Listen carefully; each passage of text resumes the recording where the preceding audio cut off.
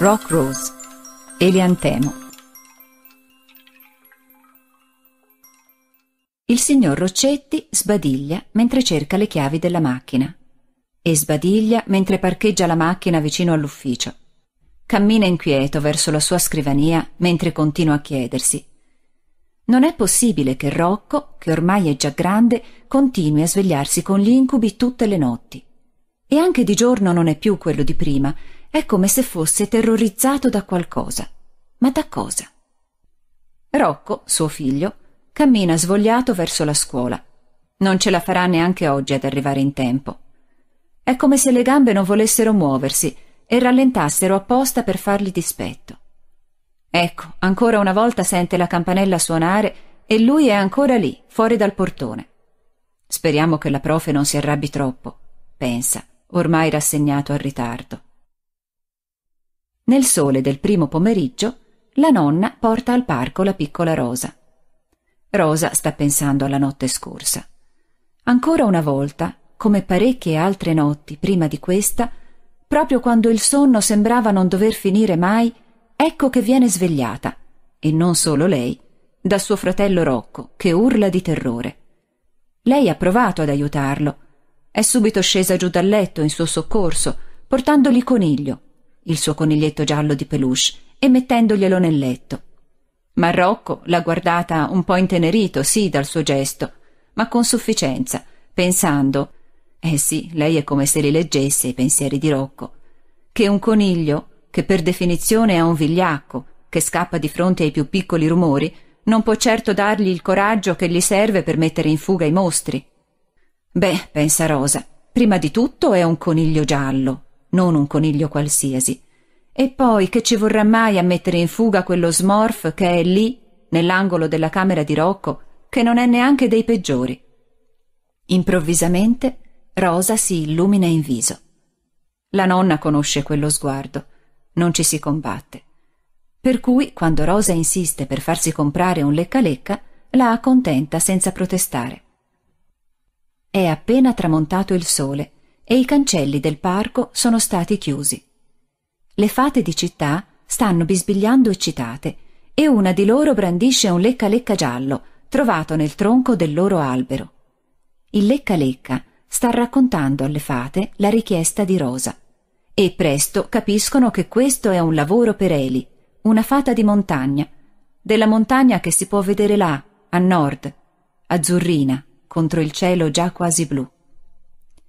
Il corvo che zampetta lì intorno si alza in volo, mentre le fate si preparano ad accogliere un ospite, facendo un po' di spazio nel loro albero e spargendo petali di margherita sul letto pulito. Ecco Eli, che sorridente e spettinata, ma bellissima nel suo vestito giallo, scende dalle ali di corvo e dopo poco riparte in volo, con le sue ali stavolta, visto che il viaggio è più breve, verso la finestra socchiusa di casa Roccetti, anzi, per la precisione, della camera di Rocco. Eli guarda Rocco, che a occhi chiusi, con la bocca semiaperta, sussulta e trema. Ogni tanto piccole scosse di braccia e gambe rivelano l'intensità del suo sogno. I pugni chiusi, le gambe rigide. Povero piccolo, che spaventosa avventura sta vivendo. Allora Eli pensa all'Eliantemo, al fiore che è la sua casa, lassù in montagna. Pensa al suo coraggio, al suo essere così piccolo e tenero, eppure alla sua capacità di resistere alle tempeste di neve, ai temporali. Pensa alla capacità delle sue piccole radici di penetrare nella roccia e di crescere lì dove altri fiori non riescono a sopravvivere. Pensa al colore giallo dei suoi petali, alle scintille di giallo che illuminano il grigio della roccia, così piccole eppure così brillanti, che allargano il cuore in un sorriso e sente così, subito, una tale nostalgia della sua casa, del suo piccolo fiore, che le lacrime le riempiono gli occhi. E poi, toc, toc, cadono due goccioloni dritti nella bocca semiaperta di Rocco, proprio lì, sulla lingua. Rocco, nel sonno, chiude la bocca, succhia le lacrime di Eli e qualcosa cambia. Eli vede il viso di Rocco rilassarsi, la bocca distendersi quasi in un sorriso. E poi gli occhi si aprono, svegli, e lei svelta si nasconde dietro le tende della finestra. Rocco si alza, veloce, quasi ridendo, e va dritto nell'angolo della stanza dove una figura senza forma era cresciuta, notte dopo notte, assumendo sembianze mostruose nei suoi sogni. E le chiede Chi sei? Cosa vuoi da me? Guarda il mio coraggio adesso e rispondimi, o ti annienterò con uno schioccare di dita. L'ombra risponde. Non si sente il suono delle parole, ma nettamente, nella testa di Rocco e di Eli, che continua ad osservare la scena, si formano le risposte. Non so chi sono. So solo che la tua paura mi ha nutrito e mi ha fatto crescere. Ed è questo che voglio. Voglio solo la tua attenzione. Me ne andrò se vuoi, ma non essere violento con me. L'ombra striscia fuori dalla stanza, diventando sempre più piccola. Rocco si guarda intorno, soddisfatto. Gli piace la sua camera. I manifesti appesi alle pareti, le scarpe buttate sotto la scrivania, calzini e mutande appallottolati per terra, e gli angoli della stanza finalmente liberi, puliti. C'è uno strano bagliore dietro le tende. Chissà, sarà la luce delle stelle. Sbadigliando e stiracchiandosi, si ficca sotto le lenzuola e si addormenta. Tutto è silenzioso in casa Roccetti. Manca poco all'alba e si sente il rumore dei primi autobus giù nella strada.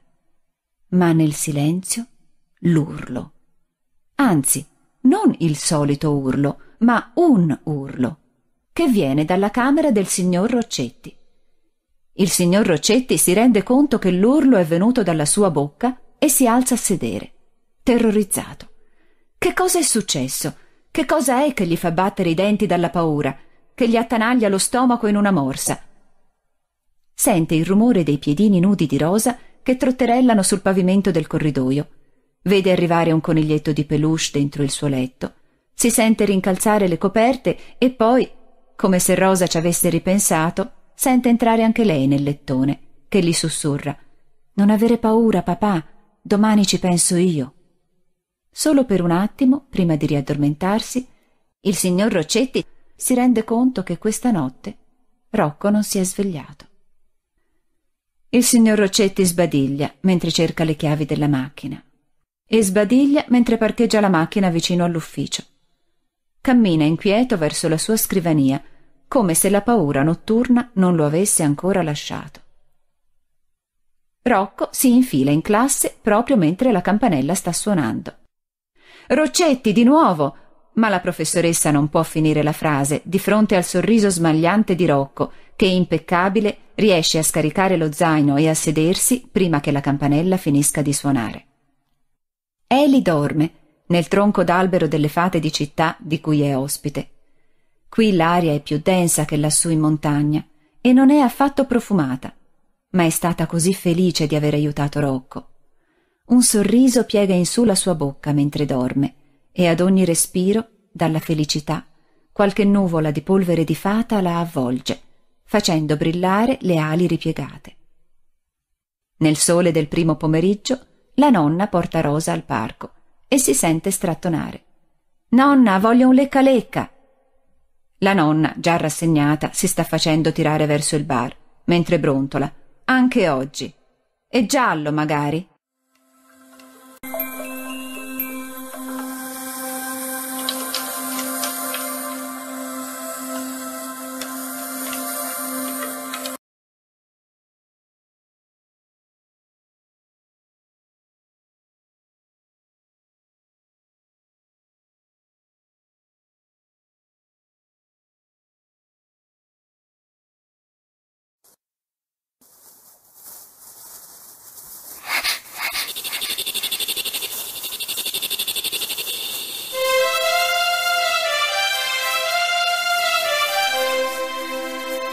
Mimulus, mimulo giallo.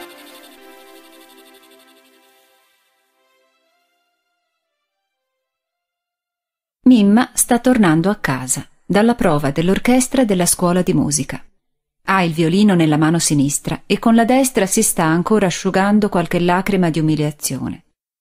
Dario e tutti i maschi della sezione dei fiati è tutto il pomeriggio che non fanno che spaventarla, per poi riderle dietro. Si sono nascosti dietro il portone prima e poi nei bagni delle femmine, e quando meno se l'aspettava sono usciti suonando i piatti o ficcandole una strombazzata nell'orecchio, che l'ha spaventata a morte e l'ha fatta saltare e anche piangere. E poi, durante la prova, Dario le è venuto dietro e sembrava facesse apposta a suonarle i piatti nelle orecchie. Il suo violino ha steccato quasi ogni volta e il maestro l'ha rimproverata. E il suo cuore ha sussultato su e giù continuamente e lo stomaco sembrava volesse uscirle dalla bocca. E anche adesso, che deve lasciare la strada asfaltata per prendere la scorciatoia che passa in mezzo al campo, le è rimasta addosso quella sensazione di paura. E ha paura di qualche lucertola che le può strisciare tra i piedi o di Eccolo! Un urlo le sfugge dalla bocca, nel vedere davanti a lei un topolino che stava sgusciando fra l'erba quasi alta e che al suono dell'urlo è saltato su, più spaventato di lei, cambiando direzione e correndo via. Tremando ancora, ma forse non aveva mai smesso di farlo, da quando ha cominciato a tremare insieme ai piatti di Dario, Mimma si siede su un sasso, solo per un po', accanto al torrente che porta l'acqua dai monti giù in città, la custodia del violino appoggiata sui sassi. Stare seduta solo un po', con la strada asfaltata a due passi, lì in mezzo a erbacce, e ciottoli le dà comunque un po' di pace nel silenzio. Niente macchine, né persone, solo l'acqua che scorre. Spesso ha la sensazione di essere sempre in tre. Lei, il mondo e qualcuno nascosto dietro l'angolo che aspetta solo il momento giusto per farla sussultare. E ora invece si sente bene, da sola, lei con il mondo. E con quei bei fiori gialli, nati così in bilico, fra un sasso e l'altro della proda del fiume. Ehi, bel fiore, dice Mimma, vorrei essere come te. Sei qui, in mezzo ai pericoli. Da un momento all'altro le tue radici possono staccarsi, i tuoi semi cadere in acqua, il vento portarti via con sé, eppure sei felice lo stesso qui con questi puntini rossi sui tuoi petali gialli, e fai a gara con l'acqua chi ride di più. E mentre con la mano tocca leggermente la pianta con cui sta conversando, Mimma sente l'impulso di prendere un fiore e portarlo con sé. Non si accorge del topolino che, ancora un po' impaurito da prima, ora le scivola dietro, verso i più ricchi bottini dei bidoni della spazzatura accanto al marciapiede, più avanti. Il cielo adesso è tutto coperto da nuvoloni grigi. Si prepara un bel temporale estivo, di quelli con lampi e fulmini che fanno tanta paura a Mimma e fanno sì che lei sia costantemente presa in giro da suo fratello. Ecco il primo tuono in lontananza, solo un brontolio. Speriamo che non si avvicini. Mimma affretta il passo. Cadono giù le prime gocce. Tic, tac, toc, Qualche goccia bagna i petali del fiore e Mimma lo asciuga, protettiva, con la mano. Ecco un altro tuono e subito la mano scatta all'orecchio a coprirselo e poi il pollice in bocca, come quando era piccola. Il pollice ha ancora su il sapore del fiore, un sapore giallo, di sole e erba bagnata. Adesso c'è un lampo che squarcia le nuvole, ma stranamente Mimma non ha più paura anzi pensa che lassù il tecnico delle luci si sta dando un grande affare. E ora forse arriveranno anche i piatti dell'orchestra che si nasconde dietro le nuvole. Ecco infatti un gong ben più forte dei piatti di Dario. Che meraviglia! E che voglia di suonare!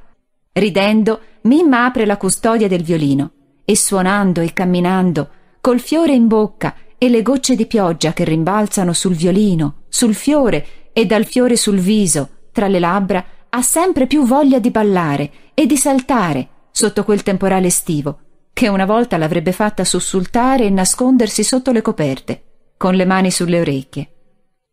La pioggia sta adesso venendo giù ben bene, e lava il fiore e scorre giù per terra, nello scolo del marciapiede, dove, nascosto vicino all'ingresso della fogna, il topolino sta bevendo un po' d'acqua. Acqua che sa di fiore, di giallo e di sole, di erba bagnata, di allegria e voglia di rischiare. E il topolino, ubriaco di quest'acqua, entra giù nella fogna, andando incontro, come al solito, ai consueti pericoli sotterranei. Ma stavolta è diverso. Sente in sé un'energia nuova, un ardimento da esploratore che mai aveva provato prima. E giunto proprio alle spalle di uno dei soliti smorf che si incontrano sottoterra, invece che nascondersi impaurito, lancia con tutto il fiato dei suoi piccoli polmoni uno squeak assordante, che fa sussultare lo smorf e lo fa schizzare su come un bolide, su, su, fuori dal tombino, proprio nel rigagnolo di scolo. Lo smorf si riprende ora dallo spavento e sta appena cominciando ad apprezzare quello splendido tempo grigio, piovoso e fangoso, quei bei lampi e tuoni così paurosi per alcuni e proprio per questo per lui così rigeneranti, che comincia a sentirsi sempre più debole, come se si squagliasse. Ma come mai? In genere è il sole che gli fa quest'effetto, eppure neanche l'ombra di un raggio, solo una cappa di nuvole che rende la città più tetra che mai. Perché allora questo senso di stupida allegria? Da dove viene questa luce che lo divora, che lo liquefà? E solo un attimo prima che la sua coscienza svanisca, squagliata, nel tombino, insieme alla pioggia, riesce a capire. Riesce a capire da dove viene tutta quella luce. Da un piccolo petalo giallo, proprio lì, accanto alla pozzanghera.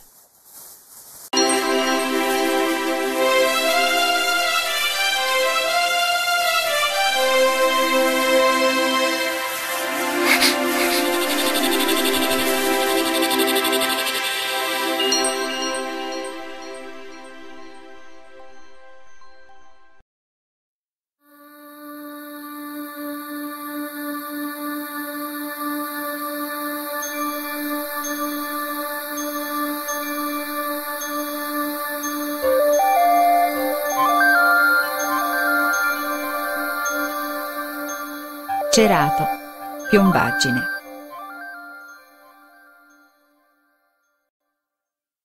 No, no, la piombaggine non si sposta. Di là dalla siepe, la voce di Anna, la sua vicina di casa, sta rispondendo decisa alla proposta del giardiniere, che le ha consigliato di spostare la pianta in un altro posto.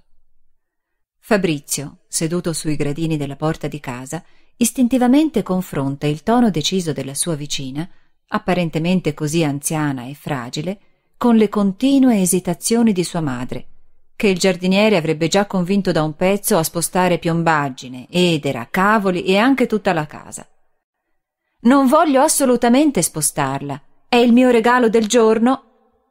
Fabrizio, incuriosito, appena il giardiniere si allontana, passa oltre la siepe e chiede ad Anna che cosa vuol dire il regalo del giorno è il regalo che ogni giorno mi viene fatto. Spesso sono più regali, uno diverso dall'altro. Vedi, se lascio la piombaggine in questa posizione, ogni mattina di questa stagione, aprendo gli occhi, la vedo dal mio letto quando mi sveglio. E così la giornata mi fa subito un regalo. Guarda com'è bella, con quei fiori blu e viola. Lo sai che è una pianta che viene dal Tibet? Il Tibet è il tetto del mondo, l'ho studiato. Infatti, è così alto che da lassù si sente benissimo la voce di Dio o di chiunque stia là sopra le nuvole. Fabrizio la ascolta perplesso. Allora Anna gli spiega meglio. Quella voce che non si ascolta con le orecchie, ma col proprio cuore. Ma dimmi un po', a te non è arrivato nessun regalo oggi, che hai una faccia così mogia e confusa? Fabrizio spiega che è da almeno 15 giorni che deve scegliere le materie facoltative prima dell'inizio della nuova scuola. Ho passato tutti questi giorni a parlare coi professori e coi compagni più anziani e con la mamma che chiede consiglio alle amiche e coi bidelli e e anche con quello smorf che era qui l'altro giorno, vero? Su, non fare quella faccia. Lo so che pensi che noi adulti non li vediamo, gli smorf, ma non è così. È che spesso facciamo finta di non vederli, per non spaventare i bambini. Ma che ti ha detto poi? Niente, niente, anche perché quando gli parli agli smorf quasi sempre vanno via. E così ora manca solo un giorno all'inizio della scuola e non ho deciso un bel niente. Ma c'è ancora tempo. So da mio nipote Rocco che la scuola comincia fra quindici giorni. Ma io, dice Fabrizio, vado alla scuola sperimentale, che comincia prima e che ha molte più materie. Me l'ha consigliata la mamma, a cui l'ha consigliata il papà di Edoardo, e effettivamente anche Edoardo è contento di farla. Ora però io devo scegliere le materie non so come. Beh, allora vuol dire che oggi te lo faccio io, il regalo del giorno.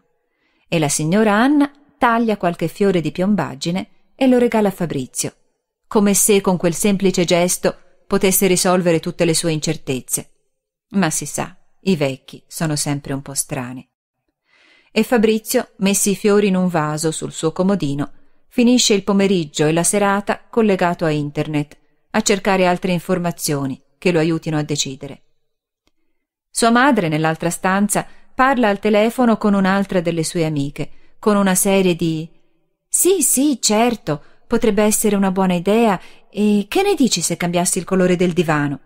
E via di questo passo, un punto interrogativo dietro l'altro, in una cadenza che gli fa venire sonno e voglia di trascinarsi verso il letto. Un sonno agitato lo prende non appena chiude gli occhi. Le voci di tutte le persone che lo hanno consigliato si mescolano nella sua testa e prendono la forma di tanti personaggi, tutti intorno a lui, in una classe di scuola. Qualcuno corre intorno ai banchi, qualcuno si arrampica sui muri, Vede la mamma con il suo telefono attaccato all'orecchio, Edoardo con una lente di ingrandimento, il papà di Edoardo che sta costruendo un castello di carte coi piedi mentre legge il giornale. Rocco e Piercarlo che giocano a palla in un angolo. Vede i professori della scuola nuova, il professore di musica che gli tira le corde del violino come se fossero elastici, e la professoressa di biologia che sta ammaestrando una squadra di formiche. E tutti parlano, parlano, parlano.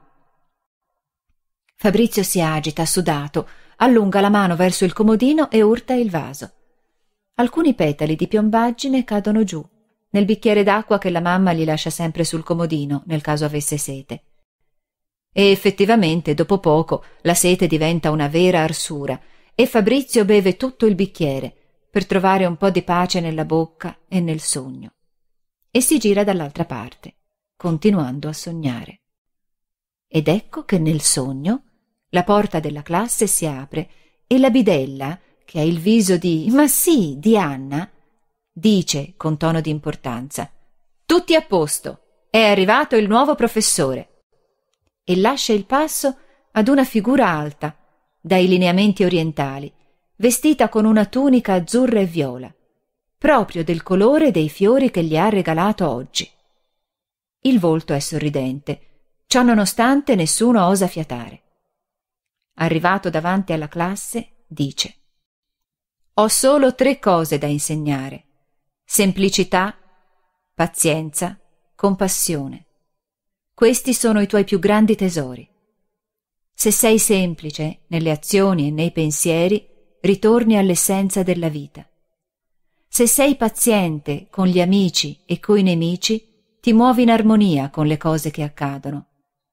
Se sei pieno di amore e compassione verso te stesso, porti pace a tutti gli esseri viventi. E il silenzio, che accoglie nella classe le parole del maestro, si trasforma in Fabrizio in un sonno profondo e tranquillo fino alla mattina.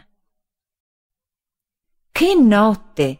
Fabrizio si alza stirandosi e i fiori che vede sul suo comodino lo fanno sorridere. Oggi anche lui ha il suo regalo del giorno ma ne ha anche un altro. La sua testa adesso è più sgombra.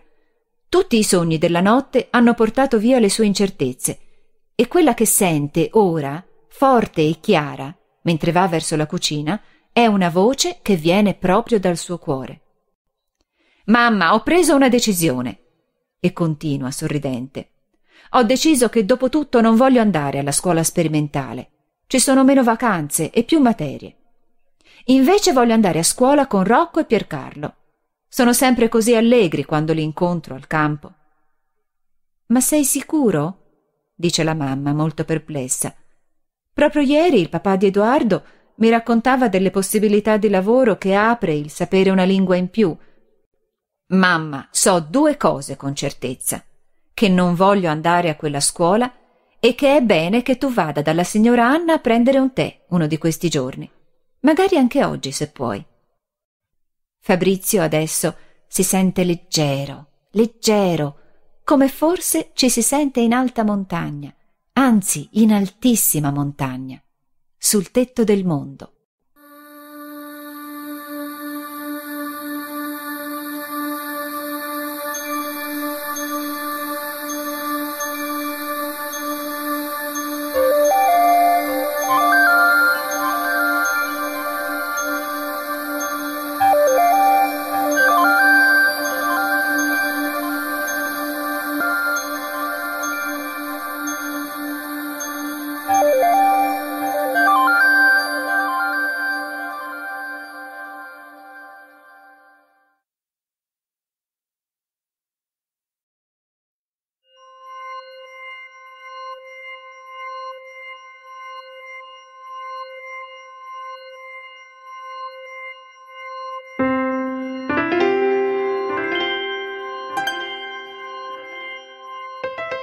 Scleranthus, fior secco. Margherita stringe al petto Fiocco, la sua coniglietta di casa, mentre la accompagna verso la libertà. Eh sì, oggi è un gran giorno. La mamma e il papà di Margherita hanno deciso di separarsi. Andranno ad abitare in città diverse, in case di città, e lei non potrà più tenere con sé Fiocco, abituata a scorazzare in giardino. Mamma e papà l'hanno accompagnata in questo campo, che hanno saputo è un terreno ideale per i conigli, e sanno che ci sono tane e conigli selvatici. Fiocco, appena posata a terra, va avanti, timidamente, in esplorazione, mentre Margherita si siede in disparte.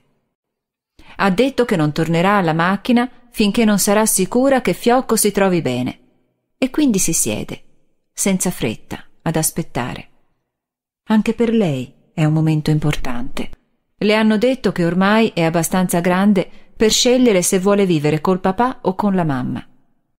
Certo, li vedrà comunque tutti e due, ma uno dei due lo vedrà d'estate e l'altro sarà quello con cui passerà l'anno scolastico.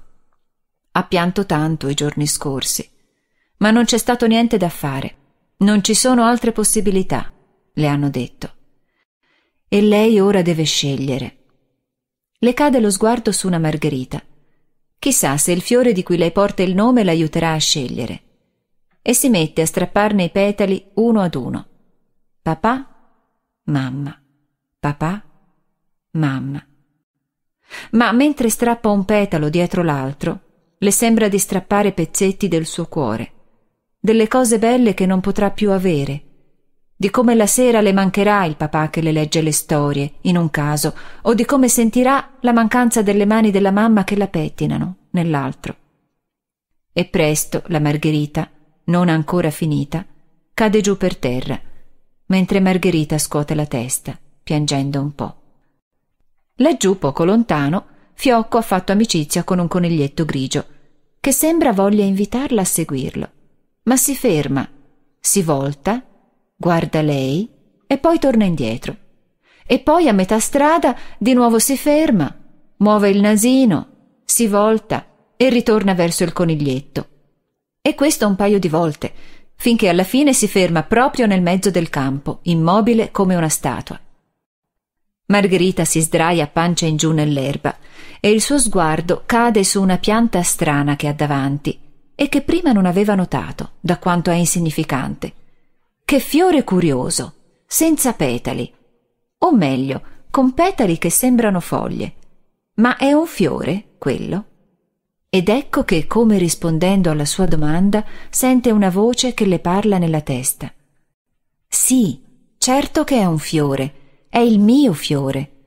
Io sono lo spirito del fior secco e se vuoi ti racconto la storia della mia pianta che tanto tempo fa ha dovuto affrontare una difficile scelta.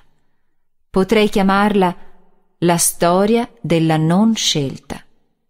Margherita, troppo emozionata per parlare, scuote la testa per dire che sì, sì, certo, vuole sapere, tanto più che anche lei ora non sa cosa scegliere.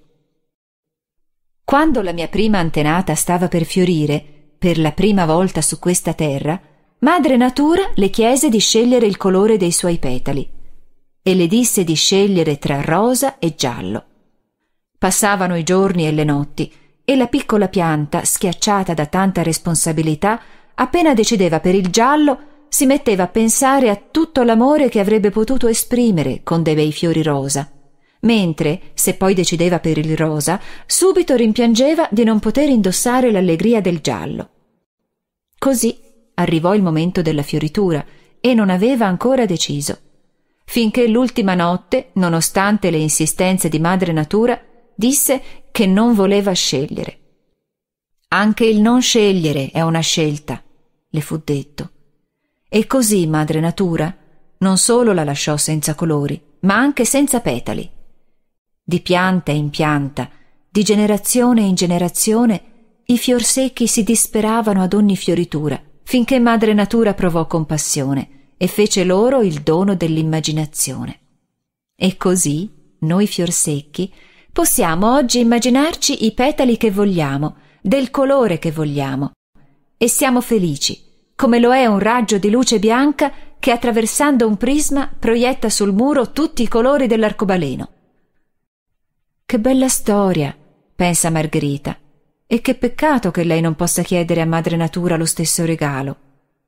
Ancora lacrime le cadono dagli occhi e vanno proprio ad appoggiarsi sui fiori della piantina. Ecco che arriva Fiocco, ancora indecisa se andare o restare. Muove il nasino verso la pianta, stupendosi di quegli odori mescolati, il profumo del fior secco e l'odore delle lacrime di Margherita, che già altre volte ha consolato i giorni scorsi. E mastica uno dei fiori della piantina, incuriosita dalla strana miscela. Fiocco, adesso, vede le cose con occhi diversi. C'è un nuovo mondo davanti a lei, così aperto, pieno di avventure.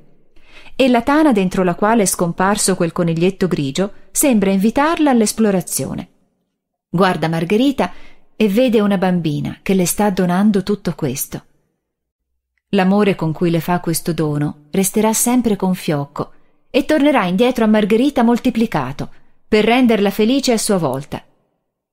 Fiocco ha deciso di andare adesso ma prima avvicina il musino al viso di Margherita, ancora triste, e come ha già fatto tante volte i giorni scorsi, le dà qualche leccatina, mista al succo dei fiori di fior secco che sta ancora masticando. E dopo aver assaporato le sue dolci carezze, saltella via felice, incontro alla sua nuova vita. Margherita vede il fiocco bianco, che è la coda della sua coniglietta, scomparire dentro una tana e si sente strana. Le dispiace un po' non vederla più, ma allo stesso tempo è felice che abbia trovato una nuova famiglia. E poi queste sensazioni mescolate di gioia e dispiacere vengono sommerse da un'onda di sicurezza che le allarga il cuore e la pancia. È come se sapesse adesso che anche per lei c'è una vita nuova, che le riserva cose belle e inaspettate e che qualsiasi sia la sua scelta, tutto andrà per il meglio. Prende in mano un'altra margherita e comincia a staccarne i petali. Con la mamma. E dentro la sua testa si formano idee di colazioni pigre e trucchi davanti allo specchio e un corpo morbido e profumato che la abbraccia. Con il papà. E arrivano idee di vento nei capelli mentre parla con lui andando in bici, e popcorn al cinema, e solletico fino a piangere. E così via, petalo dopo petalo, Cose buone si aggiungono a cose buone e colori ai colori, come per la piantina che una volta non sapeva scegliere.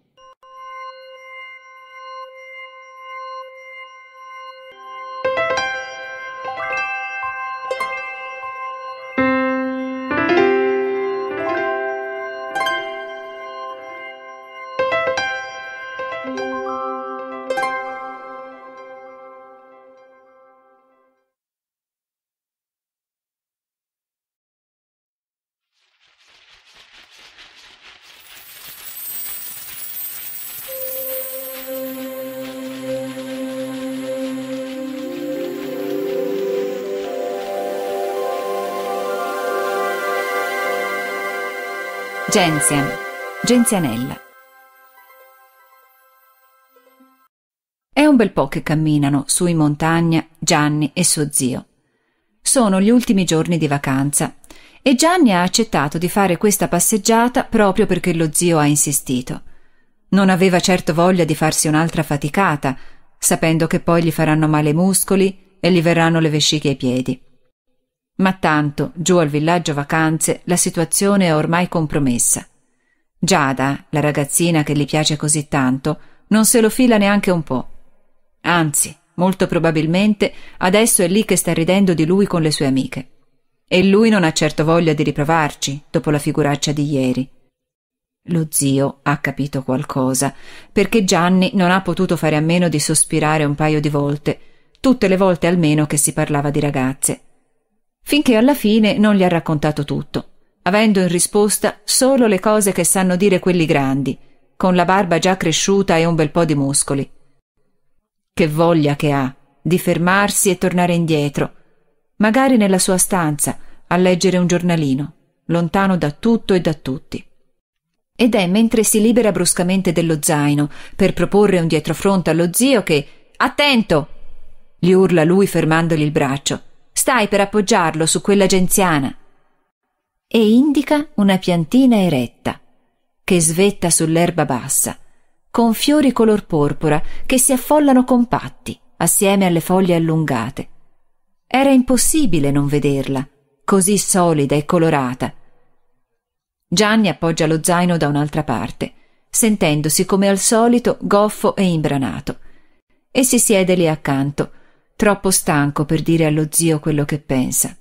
Che tanto, qualsiasi cosa faccia, Giada sicuramente non gli parlerà neanche più e che quindi non vale neanche la pena di provarci.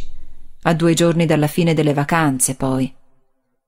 Quello che non vedono né lo zio né Gianni è invece che una piccola fata vestita di viola spaventata e emozionata, si alza da sotto le foglie della genziana che la nascondevano e vola agitata intorno a loro, pensando C'è mancato poco che schiacciasse la mia pianta. È proprio vero che quando si è infelici si guarda solo se stessi e non le meraviglie che sono intorno a noi. Povero ragazzo. Meno male che questo bel cowboy. E qui la fata si posa sul cappello a tesa larga dello zio, con atteggiamento malizioso, ha pensato a salvarmi la vita. Avrà la sua ricompensa. Tre desideri a scelta. Parola di fata. Lo zio continua i suoi discorsi istruttivi sulle donne. E poi, vedi, le donne giocano a farsi inseguire, a farsi corteggiare. Non ti scoraggiare mai, insisti sempre e vedrai che la spunti. La fata, sul cappello, si passa una mano fra i capelli e, Uomini, dice, alzando le spalle e accavalla le gambe per stare più comoda, in attesa di mantenere il suo debito. Il sentiero continua a salire e non se ne vede la fine, tanto da far pensare a Gianni che forse non esiste nessun rifugio. Basta, sono stanco, non ho più voglia di andare avanti, dice Gianni, fermandosi, scoraggiato.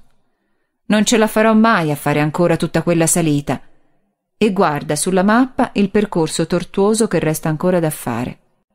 Su, su, lo incoraggia lo zio, che quando arriveremo su ci sarà un bel pranzetto che ci aspetta al rifugio.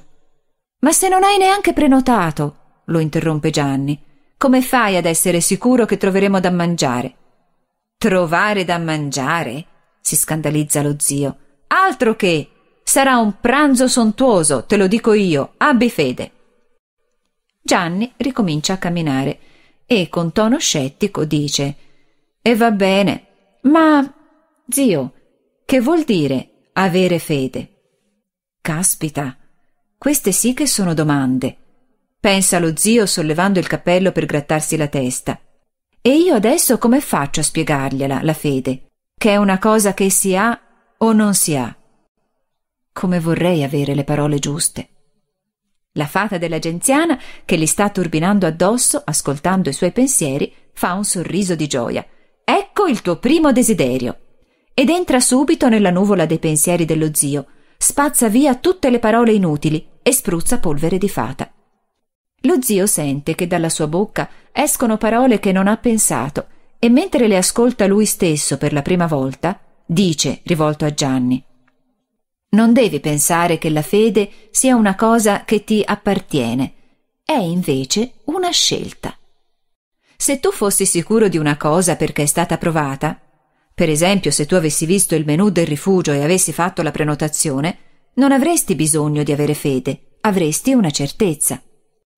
È invece il dubbio che ti spinge alla fede. Ogni mattina, quando ti svegli e cominci ad avere dei dubbi, hai due possibilità. Scegliere di avere fede che tutto andrà per il meglio, o scegliere di pensare che le cose andranno storte. E lo sai qual è la più grande libertà di noi uomini? Che sta solo a noi decidere cosa scegliere. Io ti consiglio la numero uno. La giornata così è molto più facile e allegra. È molto meglio, fidati. O no? pensa perplesso lo zio. Ma ha senso quello che ho detto? E cosa ho detto? Guardando il viso un po' confuso di Gianni, si rende conto che sì, qualcosa è cambiato nella sua espressione, ma potrebbe solo essere qualcosa del genere Povero zio, sta invecchiando. Queste salite gli tolgono ossigeno al cervello e non è più lucido come una volta. Però il suo passo è un po' più rapido ora. E, pensa ancora, come vorrei che capisse quello che cercavo di dirgli, come vorrei che la fiducia, la fede, se la ritrovasse dentro la pancia, così, senza cercare di capirla attraverso le parole, che non so neanche se erano poi mie. La fata della genziana aguzza le orecchie. Bene, un secondo desiderio. Dentro la pancia, ha detto? Veloce estrae dal suo sacchetto appeso al collo qualche petalo di genziana, già pronto per l'uso, e approfittando di una sosta per la pipì, lo lascia cadere nella borraccia di Gianni, lasciata aperta su un sasso, al sole, accanto allo zaino. Gianni, che adesso è tornato e sta bevendo a piccoli sorsi per far durare di più la sua scorta d'acqua, qualcosa gli dice che non gli basterà per fare l'ultima salita, dice per la terza volta allo zio Me l'immagino già noi due arrivati al rifugio con la lingua penzoloni a sentirci dire che non fanno il servizio ristorante. Sai cosa penso, zio? Ma la frase si interrompe a metà, perché improvvisamente, da dentro la pancia, a Gianni arriva la risposta alla domanda che ha appena formulato. Anzi, è come se fosse la pancia stessa a rispondere. Penso che avranno preparato tagliatelle ai funghi e una crostata di frutti di bosco, che io prenderò insieme a una cioccolata calda con panna, Me le sento già sciogliersi in bocca. Dai, andiamo, zio, cosa aspetti? Non hai fame? Lo zio lo vede, arrossato in viso che si sta già infilando lo zaino e si sta incamminando per l'ultima salita e non crede a occhi e orecchie.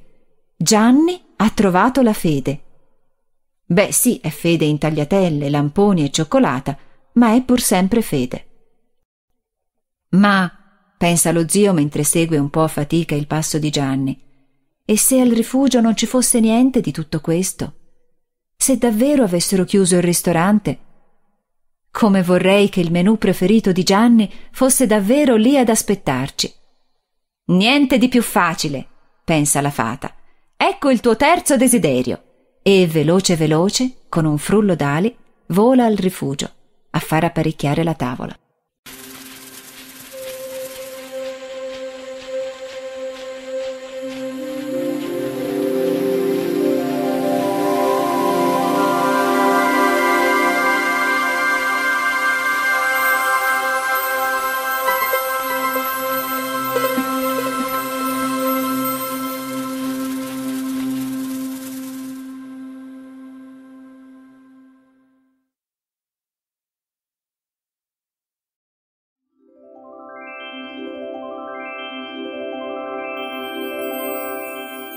Clematis, Clematide Vitalba.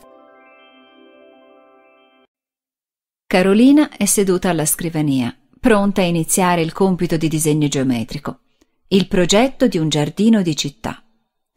Il professore, sapendo che lei e i suoi compagni, così artisti, così creativi, come li apostrofa ironicamente, non sopportano la geometria e le prospettive definite, ha deciso di fare un regalo alla classe e ha assegnato questo compito, un po' fuori dal normale.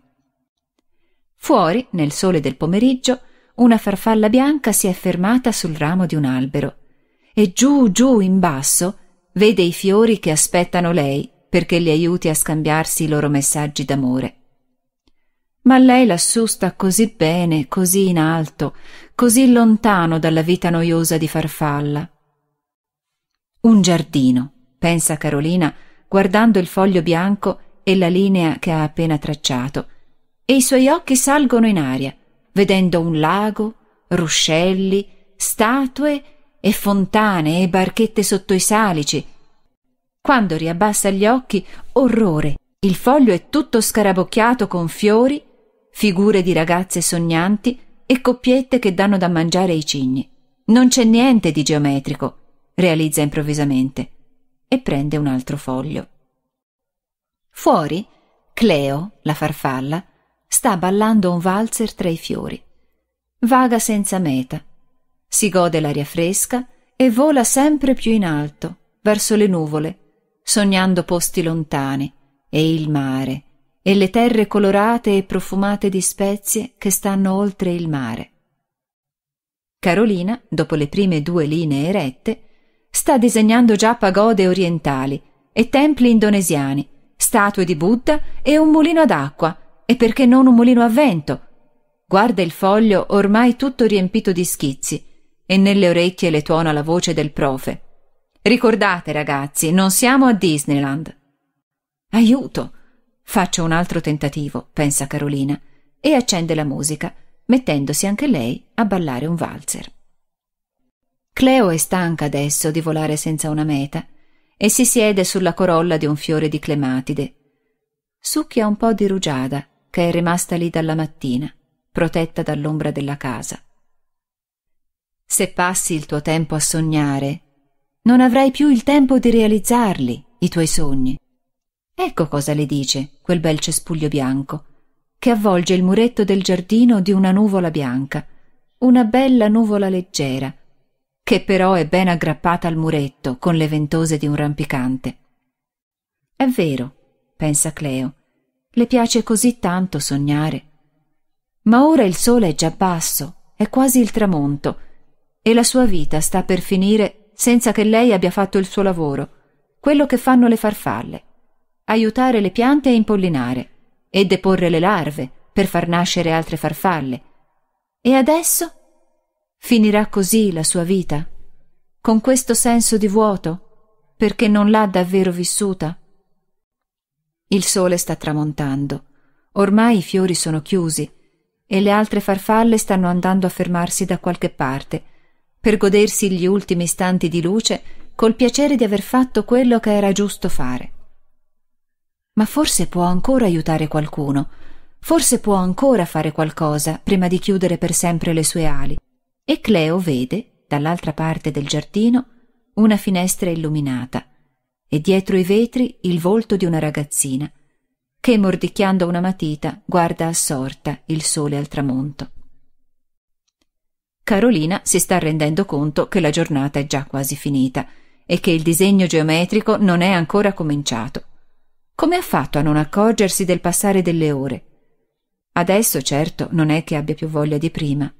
Anzi, l'idea di mettersi a fare quel compito è, se possibile, ancora più repellente. Se solo potesse essere come quella farfalla e volare così, senza pensieri, bagnata dalla luce del tramonto, se solo potesse volare dietro ai suoi sogni, così come lei, giocando con l'aria e le nuvole. Ma la farfalla, senza pensieri, è invece adesso terribilmente pensierosa e vuole aiutare qualcuno a tutti i costi, o non morirà felice. Comincia a sbattere le ali davanti ai vetri, poi picchietta il vetro con le zampine e fa finta di non vederlo e di voler entrare, sbattendoci contro. Finché finalmente Carolina apre la finestra e Cleo si precipita dentro e va a posarsi proprio sul foglio da disegno, scuotendo le ali e fermandosi lì. Non sa che cosa fare adesso. Vuole solo che quella ragazzina con le trecce scure sorrida di nuovo. Una goccia è caduta dalle sue ali ed è finita proprio al centro del foglio. Carolina cerca di farla alzare in volo di nuovo, ma Cleo adesso è ben piantata sui suoi piedi, attaccata come la clematide al muretto, e non si fa spostare tanto facilmente. Carolina raccoglie col dito la goccia caduta sul foglio e si porta il dito alle labbra, chiedendosi che ci fa lì ferma quella farfalla, invece di svolazzare, leggera e sognante. La goccia le porta l'energia della clematide e di Cleo. E anche i suoi piedi adesso sono ben attaccati alla terra. I suoi occhi controllano l'orologio e valutano i tempi. Mezz'ora per la squadratura e le prime linee, 15 minuti per completare il progetto e 15 minuti per le rifiniture. Un'ora esatta, ed è giusto il tempo che manca all'inizio del suo programma preferito alla tv. Va decisa a spegnere la musica e si mette al lavoro. Non sarà il giardino dei suoi sogni, ma un bel giardino comunque, con panchine e altalene per bambini, e lampioni, e tavoli per picnic, e alberi e fiori, e prati per sedere e sdraiarsi a guardare le nuvole, e sognare, sì, anche sognare. La farfalla si è messa da parte, ferma sul davanzale, come a controllare che Carolina stia facendo il suo lavoro. E quando il disegno è finito e Carolina prorompe in un evviva e in un ballo sfrenato, capisce che la sua presenza in qualche modo è servita. Si volta verso gli ultimi raggi del sole al tramonto, pronta ad accogliere la notte. Ma invece di sentirsi stanca, come sarebbe logico, sente che le sta accadendo qualcosa di strano e le zampine si trasformano in piccole gambe, le ali diventano più grandi e più leggere, le spuntano due braccia, due piccole mani e al fianco una borsetta trasparente, piena di stelle in briciole di... Ma sì! Polvere di fata! Cleo sa che a volte succede. Lo raccontano nei boschi e nei giardini, che chi aiuta un altro essere in difficoltà, senza chiedere niente in cambio, viene premiato da madre natura, ma non si sarebbe mai aspettata tutto questo, diventare fata.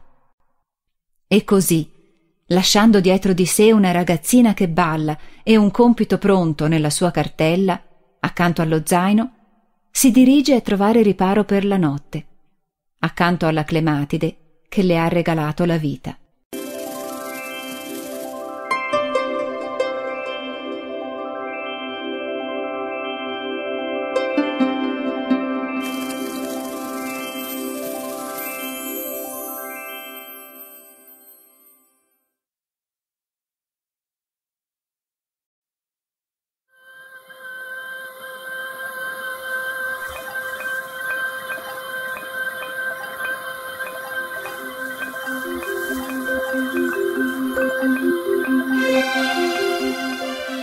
Water Violet, violetta d'acqua. È ancora fresco il ricordo di Fata Violetta, di quando si abbassava sul dorso di corvo per ripararsi dal vento e stringeva al petto una piantina di violetta d'acqua, la pianta con cui era vissuta fino al giorno prima. Vivevano in un corso d'acqua tranquillo, isolato, in beata solitudine, lontano dal rumore della città e delle persone e dal chiacchiericcio di altre piante e fate che sono anche simpatiche, sì, ma prese a piccole dosi. Poi però erano arrivate le scavatrici per dissodare il terreno e prepararlo per costruirci sopra, e lei era dovuta scappare in tutta fretta. Le fate di città le avevano inviato Corvo, il loro mezzo di trasporto ad alta velocità, per portarla da loro, e lei aveva fatto appena in tempo a prendere con sé la violetta d'acqua, mettendola in un panno umido per proteggerla fino al loro arrivo. Adesso abita qui, in questo parco di città, nel cavo di un tronco, dove ha ritagliato uno spazio tutto per sé. Non avrebbe potuto condividere l'abitazione con le altre fate, così chiacchierone e rumorose, non abituate al suo silenzio, in cui anche una pulce che muove le zampe sull'acqua fa rumore. Adesso guarda la Violetta, immersa in un bicchiere pieno d'acqua, che ha ricominciato un po' per volta ad ergersi illuminando la stanza col lilla pallido dei suoi fiori. Lei da sola fa più luce di un campo di margherite. Fata Violetta è così orgogliosa di essere la sua fata che non vede al mondo nessuno che possa starle al pari. ma la corolla del fiore oscilla piano, tentenna come se stesse scuotendo il capo e comincia a parlarle. So che ti senti diversa dalle altre fate, so che le trovi fastidiose e so che cerchi di stare qui, reclusa in questo tronco, con me, come se fossimo ancora nel nostro specchio d'acqua. Ma se è la pace che cerchi, se è l'armonia dell'acqua e del verde che rimpiangi e che cerchi di ricreare, non è questa la strada. Non è chiudendo l'ingresso di questa stanza che troverai la pace, ma è al contrario portando il nostro specchio d'acqua fuori di qua. Apri la porta di questa stanza, apri la porta del tuo cuore e lascia uscire la musica del nostro silenzio, i colori delicati dei miei petali, l'armonia delle linee che si riflettono nell'acqua. Lascia che escano e lascia che si mescolino come un granello di sabbia agli altri granelli fuori di qui, con umiltà, sapendo che la spiaggia ha bisogno, per essere spiaggia, di tutti i granelli e che il tuo, il nostro, è indispensabile come gli altri, anche nella sua piccolezza. Fata Violetta a queste parole, volta la schiena e si affaccia ad uno spiraglio del tronco, guardando alla luce della sera ormai quasi diventata notte le prime luci delle fate che si accendono, preparandosi alle solite chiacchierate notturne in cui si scambiano idee, racconti e risate. Alcune di loro le trova un po' rozze, con risate quasi volgari, altre dovrebbero mettersi a dieta per alleggerire il loro volo. Certo, è vero che nessuna di loro ha mai conosciuto il suo mondo e non possono apprezzare eleganza, silenzio, bellezza. Ma no, proprio non ce la fa ad aprire la porta, come le sussurra ancora nell'orecchio il suo fiore. E Fata Violetta fa il gesto di portare le mani alle orecchie per non sentirlo più.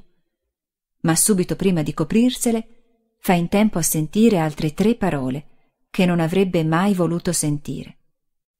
Stanotte io morirò. E sgranando gli occhi che improvvisamente le si sono riempiti di lacrime, si volta verso il fiore, che continua. Non è più il mio posto questo, ma posso ancora essere utile, anche se per questo è necessario il mio sacrificio. Vivrò attraverso di te, se saprai aprire la porta del tuo cuore e raccontarmi al mondo.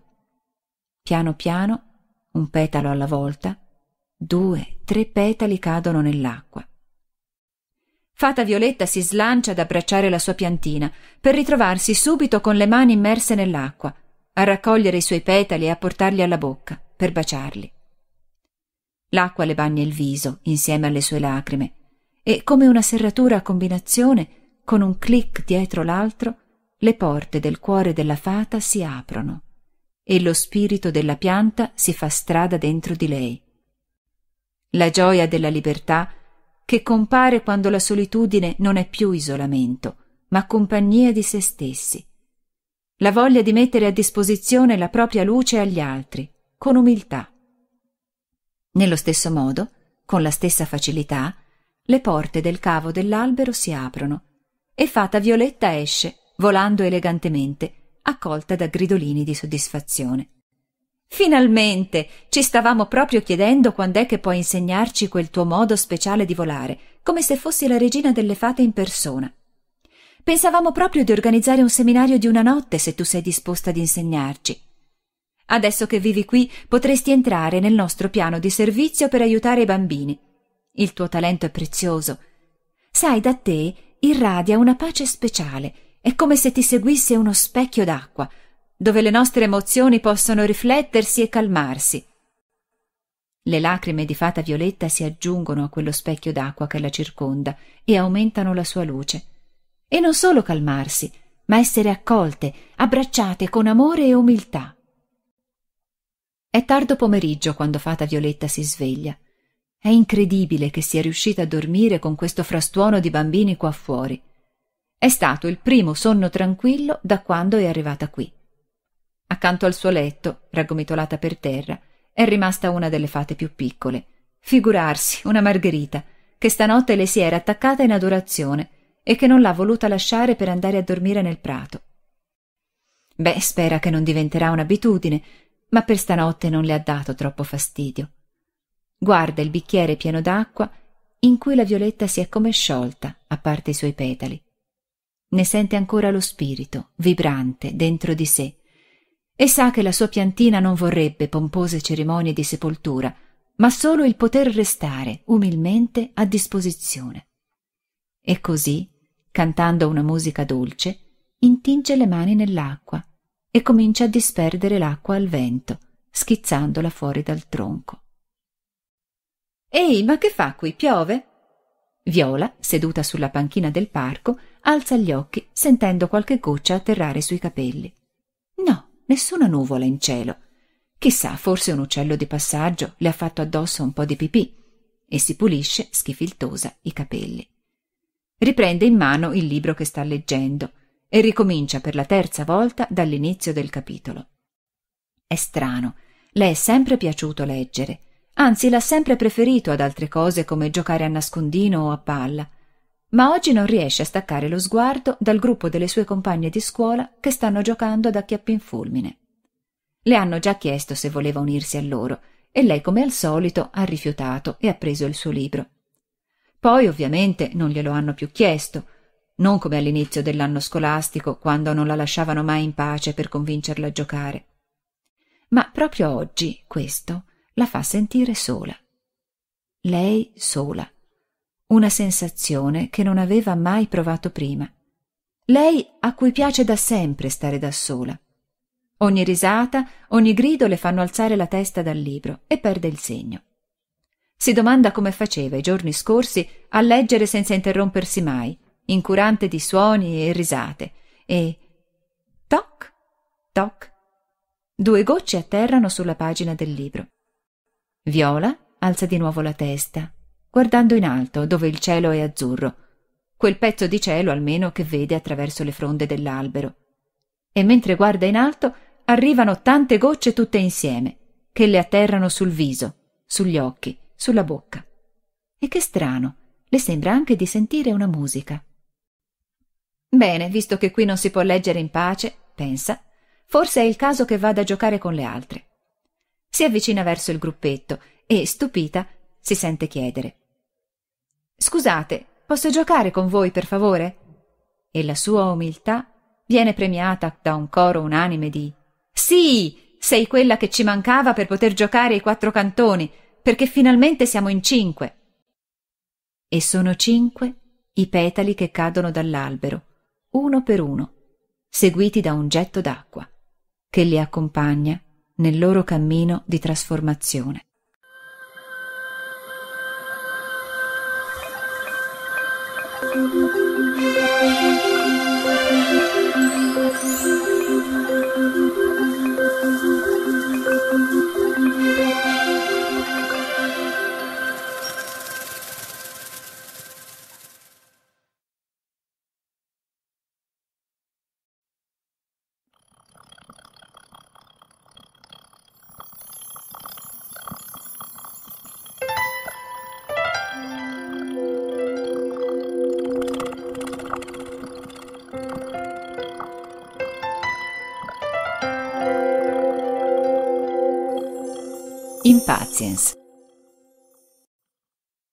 Casa Svelti, la signora Costanza sta cercando di spiegare a suo figlio Daniele lo svolgimento dell'esercizio di matematica. Ho capito, capito, dice lui e schizza in camera. Daniele è detto scheggia dai suoi compagni della squadra di baseball perché è un velocista ed è imbattibile nello scappare da una base all'altra per arrivare a casa base a fare il punto il prima possibile. Costanza scuote la testa. Come fa ad avere capito? Non ha spiegato neanche l'inizio dello svolgimento. Daniele sta scrivendo sul quaderno la soluzione. La mamma è troppo lenta quando gli spiega le cose. Lui sa già la fine di tutti i suoi discorsi, ma lei non lo capisce e li vuole finire lo stesso. E poi, quando vede che lui ha davvero capito, finisce per arrabbiarsi anche di più e dice Se non ascolti gli altri, nessuno ascolterà te. Adesso, per esempio, lo chiama in cucina e col coltello in mano mentre sta affettando l'insalata gli dice che è da ieri che non trova Ugo e che forse Daniele sa già che gli vuol chiedere di andare a cercarlo e schizza fuori in giardino senza dirle niente, lasciandola dietro di sé a urlargli Ma dove vai? Ugo, la tartaruga di casa, ha deciso di partire. È troppo tempo che sta in questo giardino. Di là dalla siepe arriva un richiamo ineffabile e la voglia di esplorare, di andare avanti, di correre incontro all'avventura gli mette addosso un'inquietudine quasi spiacevole. La voglia di correre, cresciuta di giorno in giorno nelle sue gambe, gli fa spingere la testa sempre più avanti, verso il futuro che l'aspetta, mentre il peso della corazza e l'inadeguatezza dei suoi muscoli lo trattengono indietro. E allora su, avanti, con fatica, con rabbia per il suo corpo che non è all'altezza della sua voglia di correre, ma comunque avanti, avanti, senza riposare mai. In una brevissima sosta per riprendere fiato, Ugo nota accanto a sé una chiazza rosa-viola, un gruppetto di fiori ben strani. Ieri qui non c'era niente, e oggi tutto d'un tratto foglie, fiori e semi già maturi. Perbacco, che velocità! Che bell'esempio da emulare! Chissà se mangiando un po' di questi fiori la loro energia non riesca a ricaricarmi, a fornirmi della stessa prorompente vitalità. E pensando questo, la bocca di Ugo arriva al più rosa e tenero dei fiori, ne stacca qualche petalo e lo mastica e inghiotte, come in un rito magico. Per tutto c'è un momento e un tempo per ogni azione sotto il sole. C'è un tempo per germogliare e un tempo per fiorire. C'è un tempo per correre e un tempo per fermarsi. Ugo sente, pesanti come pietre, queste parole risuonargli nella testa e dalla testa cadono giù, allargandosi sotto la corazza e scendono dentro le gambe, rendendole, se possibile, ancora più pesanti, anzi quasi inchiodandole al terreno. Ma come?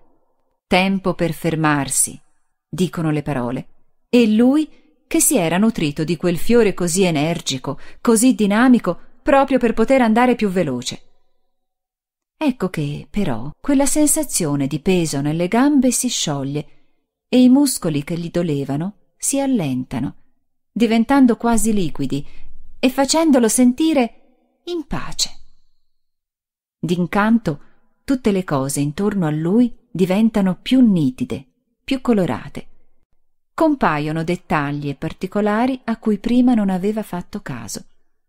Quella lumachina che si sta spenzolando da un filo d'erba, quella farfalla bianca che lassù sta ballando il valzer, seguendo una sua melodia, il profumo di terra e la fila di formiche che gli sta attraversando la strada. Come mai prima d'ora non aveva notato queste meraviglie? Certo è che, visto così, il giardino è un mondo pieno di sorprese, e le terre sconfinate al di là della siepe possono pure aspettare un altro po'. E Ugo comincia a passeggiare per la prima volta in vita sua. Scheggia, intanto, è sulle tracce di Ugo. Seguendo il metodo deduttivo descritto nell'ultimo libro che ha divorato, Sherlock Holmes e il mastino dei Baskerville, ha già trovato le prime tracce, una mezza foglia di lattuga lasciata cadere a tre metri dalla ciotola. Certo, per lasciar cadere così il suo cibo preferito, Ugo doveva andare di fretta. Eh sì, caro Watson, e quindi sarà bene seguire la traiettoria indicata dalla linea che unisce ciotola e lattuga. Ecco un rametto calpestato. Qui, accanto a un gruppetto di fiori color rosa brillante, Sherlock scheggia, vede dei fili d'erba piegati e schiacciati. Guarda meglio e vede che qualcuno dei fiori è stato sbocconcellato. E a vedere le dimensioni dei morsetti deve essere stato un animale più grande di una lumaca, è più piccolo di un mastino, forse proprio una tartaruga maschio di circa un chilo e duecento grammi. Elementare, Watson. Adesso bisogna approfondire le indagini. Occorre entrare nei panni del soggetto. E per far questo, sì, un investigatore deve essere disposto a tutto e fare proprio quello che è stato fatto dall'indagato. Daniele esita un po', poi stacca qualche petalo di quei bei fiori rosa-viola e li mastica sdraiato per terra, proprio come doveva aver fatto Ugo. E qualcosa effettivamente accade. Perché lì, da quella prospettiva così bassa, non solo scopre profumi, colori e particolari di una insospettabile bellezza, ma vede anche proprio davanti a sé, in linea col suo naso, la codina di Ugo che si muove lentamente al ritmo dei suoi passi, un ritmo diverso dal suo solito arrancare, quasi un ritmo da molleggiato, da rapper di periferia. Ma è davvero lui? Ugo! Daniele lo chiama ridendo. E Ugo, sempre con quello stesso ritmo, né veloce né lento, si volta e gli strizza l'occhio. Mamma, ho trovato Ugo. Credo che sia lui. Mi sembra lui, ma è super. Daniele ride e non riesce a spiegare alla mamma niente di quello che è capitato, anche perché, di fatto, non è accaduto niente. La signora Costanza, che sta ancora affettando l'insalata, lo guarda in tralice e comincia a dire, come se non avesse mai interrotto il discorso che faceva prima. Beh, meno male. Dopo tutto quello che ho fatto per trovarti una tartaruga di terra e quello che faccio per procurargli l'insalata fresca. Costanza continua, abbassando il tono di voce e borbottando tra sé perché sa già che Daniele non la starà più ascoltando, perché sarà schizzato in camera sua. E invece, con la coda dell'occhio, lo vede lì, impalato, che la ascolta e che, sorridendo, le dice È vero, mamma, grazie. So che hai fatto davvero un bel po' di lavoro. La signora Costanza si ferma senza più parole e non crede a quello che le sta succedendo. Daniele, dal canto suo, che come al solito avrebbe potuto dire ogni singola parola di quello che stava per uscire dalla bocca della mamma fin dall'inizio del suo discorso, ha finalmente capito che quello che lei voleva era solo essere ascoltata. Perché a lei non interessava veramente che Daniele capisse quelle parole, più di tutto lei voleva dirle, voleva versarle nelle orecchie di qualcuno. E per questa volta, una volta per tutte, Daniele ha offerto le sue orecchie. E ora che le parole della mamma sono già finite, così presto, Daniele può andare in camera sua, senza correre né strisciare i piedi, ma camminando, usando un ritmo super giusto che gli suona in testa. U-go, u-go.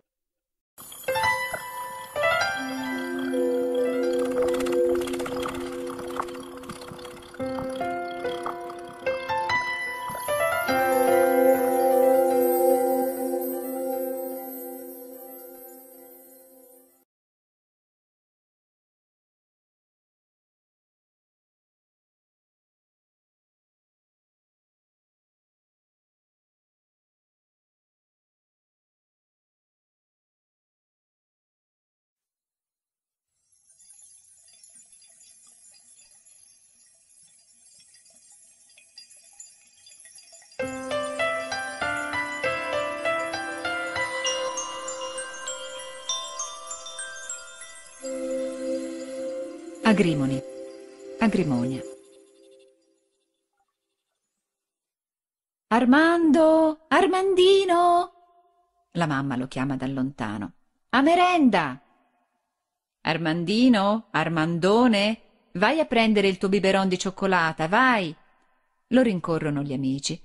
Armando saltella ritmicamente, allontanandosi, e dice, ridendo Guardate come rotolo, la vera palla di lardo che rotola verso il suo banchetto del pomeriggio. E ride ancora, voltandosi ogni tanto per vedere se la sua scena improvvisata ha suscitato l'ilarità che sperava. C'è solo un attimo in cui il viso di Armando ridiventa serio, forse anche un po' triste, ma è solo un attimo e passa subito, appena entra in cucina e trova il suo pane e cioccolata che lo aspetta, insieme all'ultimo numero del suo giornalino preferito che gli ha comprato la mamma e poi, con i suoi trofei, via a stravaccarsi davanti alla tv, in attesa della cena e del dopo cena, con noccioline e popcorn. Fata Guglielmina, come ogni sera quando fa buio, ha appena salutato la sua pianta e sta iniziando a perlustrare i dintorni. La sua pianta, pensa, la sua agrimonia, la pianta di San Guglielmo, è appena fiorita, così umile da crescere fuori dai giardini, accanto ai margini dei fossi, ma così eretta, così dritta sull'erba che la circonda, come fosse la guglia di una cattedrale, col giallo dei suoi fiori che porta gioia, e la dirittura morale che la connette direttamente al cielo e che le impedisce di mentire. Ogni volta che fiorisce è come se si rinnovasse un miracolo e una nuova forza spinge Guglielmina a portare il suo messaggio a chi ne ha bisogno. Ecco qui, dietro le finestre socchiuse, per esempio, questo bambino grasso, Armando. È da un po' che lo tiene d'occhio, che vede i suoi banchetti notturni a base di tazze di cioccolata e biscotti, mentre guarda la tv in fondo al letto, in cui trasmettono scene finte di un mondo finto, dove tutti sembrano belli e dove sono finti anche sorrisi e lacrime. E Armando, pensa, ha imparato da lì, ha imparato a fingere, a fingere anche a se stesso che tutto vada bene, sempre, a cambiar discorso, quando sente che potrebbe arrivare qualche lacrima, così con disinvoltura come cambia canale col telecomando. Ma stasera la fata ha proprio voglia di chiacchierare un po' con lui.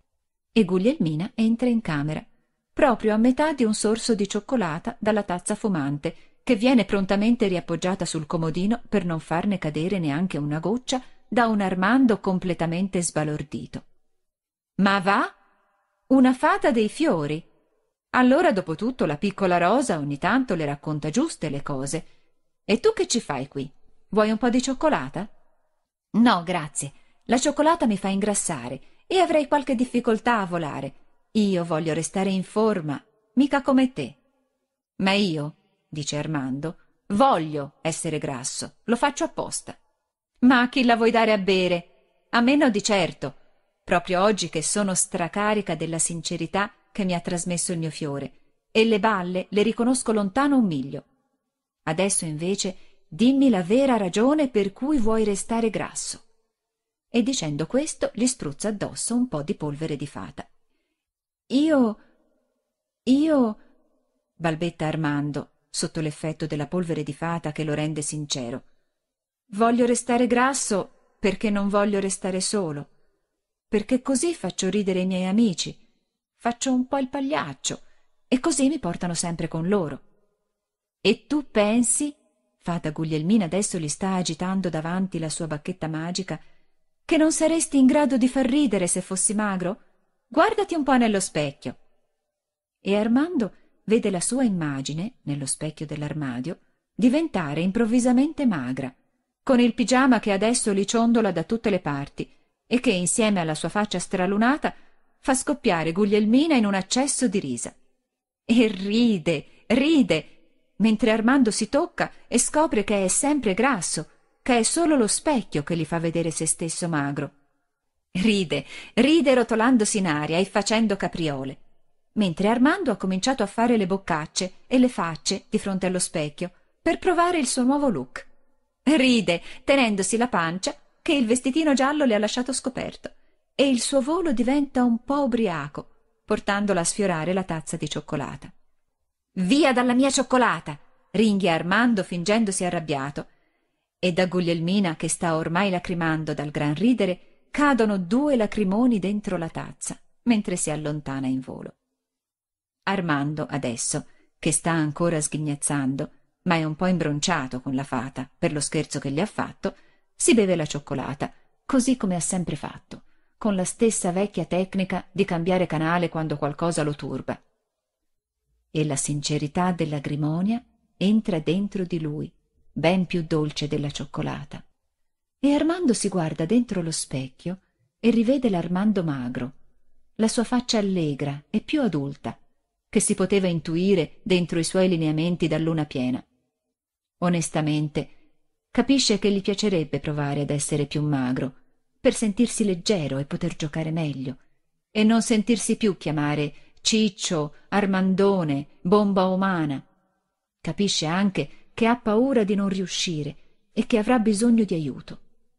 E uno, due singhiozzi gli muovono la pancia, e dietro i singhiozzi lacrime vere gli bagnano la faccia. Si sdraia sotto le coperte stranamente in pace, nonostante le lacrime. E fata Guglielmina gli accarezza il viso con le sue ali, prima di uscire dalla finestra.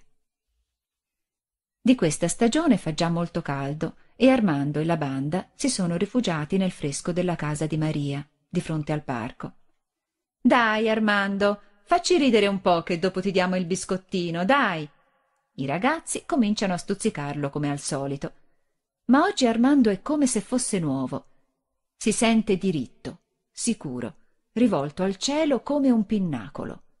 E guarda dritto negli occhi i suoi amici, mentre dice, sinceramente, Ragazzi, oggi mi sento uno schifo. Ho capito che non vorrei essere grasso e non ho voglia di ridere né di farvi ridere.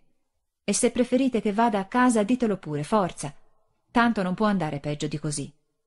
Ma gli occhi che contraccambiano il suo sguardo sono aperti, affettuosi, curiosi di questo nuovo Armando che vedono. E uno alla volta cominciano a dire Allora ti facciamo ridere noi. Ti racconto io una barzelletta. E io ti voglio raccontare di come la mia mamma ci ha fatto mangiare minestrone per un mese, perché era a dieta, ma poi alla fine è dimagrita ed è anche diventata più di manica larga. Io prometto di non offrirti più il gelato. Ma quando mai, se sei uno spilorcio che non lo offri neanche a te stesso? E visto che tra risate e pacche sulle spalle Armando ha ritrovato il buon umore, la nonna di Maria si avvicina e dice a Piercarlo, che sta mangiando delle patatine, di smetterla o si rovinerà l'appetito per la cena. E aggrotta le ciglia, per fargli capire che non è il caso di mangiare schifezze di fronte ad Armando, per non fargli venire voglia. E Armando coglie la palla al balzo e di slancio dice Ma sì, dai, via le schifezze. Anzi, lo sapete che faccio? A partire da oggi mi metto a dieta. Sarà dura, ma ce la farò. E tira fuori dallo zaino la sua merendina al cioccolato e la regala a Rosa, la sorellina di Rocco, che è da un po' che lo tira per la maglietta e gli chiede di riportarla a casa perché ha fame. Con la bocca ancora piena, Rosa gli sale sulla schiena, buttandogli le braccia al collo, e gli dice Ti voglio bene, nanno. Appena fa buio, Fata Guglielmina passa in volo davanti alle finestre di casa Mascheroni. Vede Armando, che a tavola sta parlando alla mamma. La signora Mascheroni lo sta ascoltando, seria. Poi sorride fa cenno di sì con la testa, lo abbraccia e poi rimette in frigo la torta che aveva già tirato fuori. Alla tv il solito presentatore faccia di plastica sta mostrando i suoi denti, cercando di far credere che sta sorridendo. Armando guarda la tv e fa una smorfia. Allunga la mano verso il telecomando e, subito prima che lui spenga, Fata Guglielmina vede che, nonostante sia una faccia di plastica, però nei suoi occhi c'è qualcosa. C'è qualcosa. Beh, per stasera va bene così, ma magari domani notte andrò a fare una visitina anche a lui. E con un frullo d'ali continua il suo giro di ronda.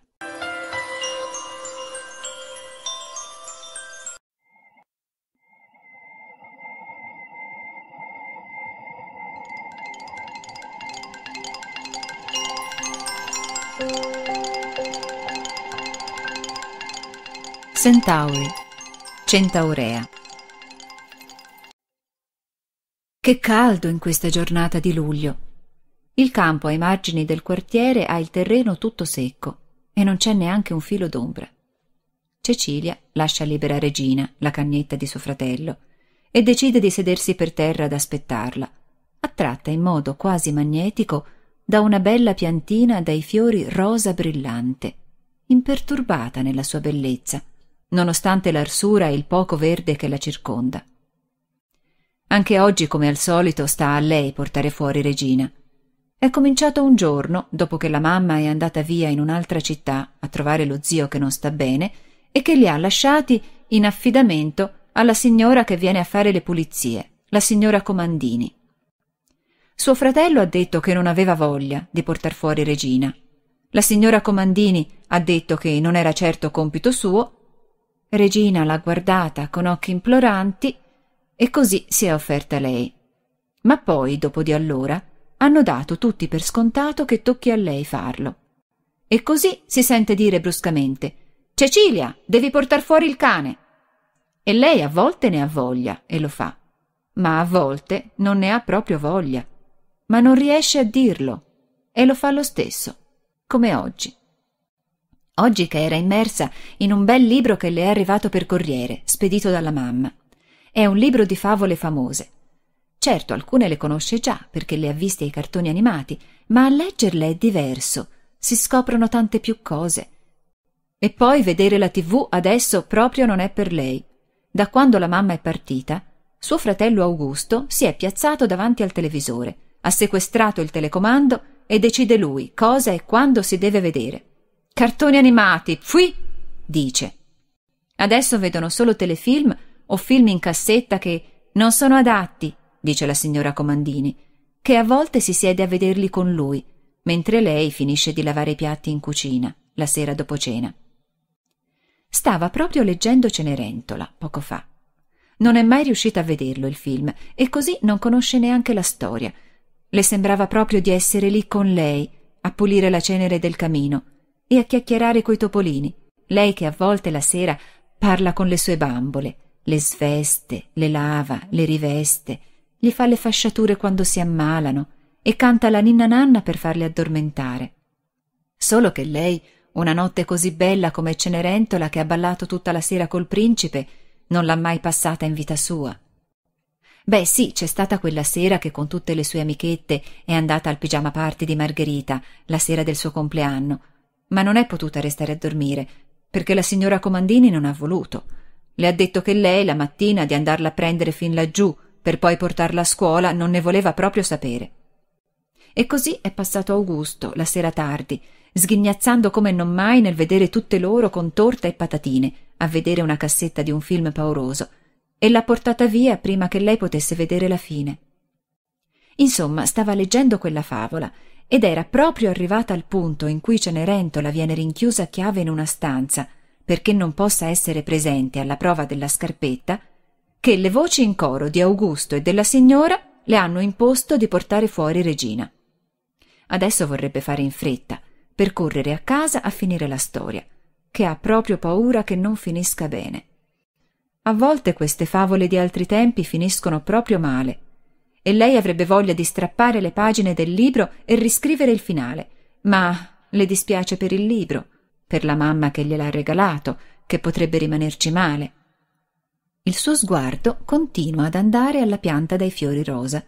È di quel colore che si immagina il vestito fatato di Cenerentola.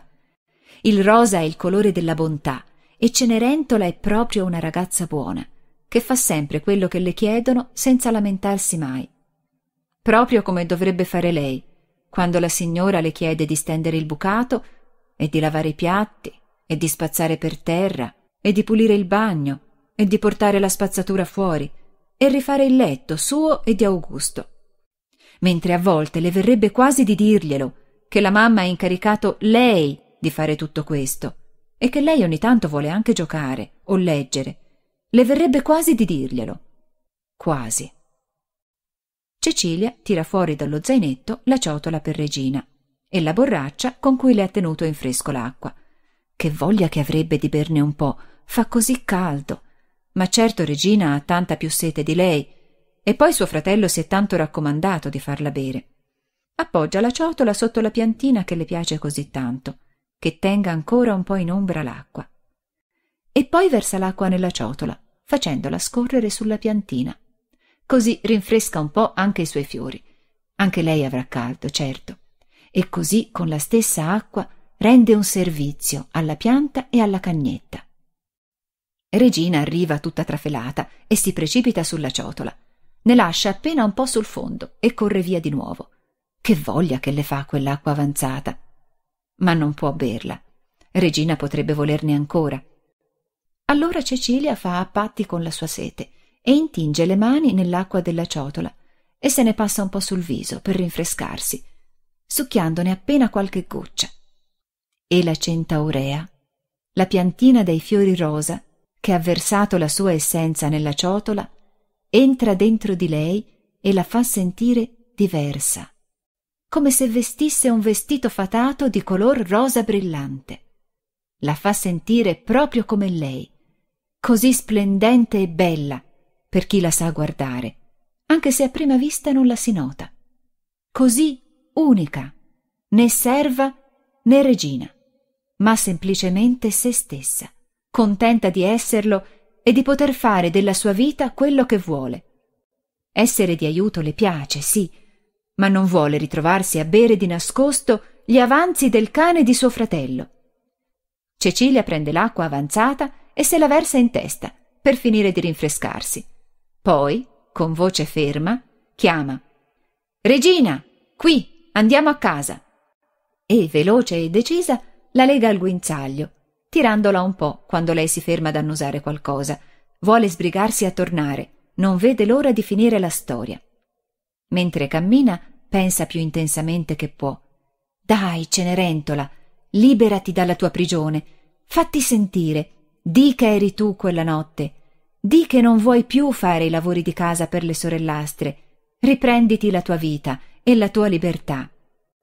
E sta ancora pensando questo, ripetendolo ancora e ancora, quando entra in camera sua, dopo aver lasciato Regina a suo fratello e avergli detto Ultima volta che te la porto fuori io con questo caldo, e si precipita sul libro. Apre le ultime pagine della storia e evviva! Scopre che anche Cenerentola ha capito che ha gli stessi diritti di tutti gli altri, che riesce a dire che la scarpetta è sua e che alla fine non diventa cattiva, anzi resta buona lo stesso. Infatti fa sposare le sorellastre e perdona la matrigna. Cecilia chiude il libro, contenta. Va in salotto, dove la signora Comandini sta guardando la tv, e le dice Oggi ho deciso che non pulisco io la cucina. Preferisco scrivere una lettera alla mamma. Così le racconto di me, di noi. Certo, certo, borbotta la signora alzandosi. Tanto lo so che tocca fare tutto a me. Ma che strano. Va lo stesso verso la cucina, così come suo fratello le fa posto accanto a lui. È bastato dirlo. E dentro di sé Cecilia pensa. E così Cecilia visse per sempre felice e contenta, insieme a tutti coloro che amava.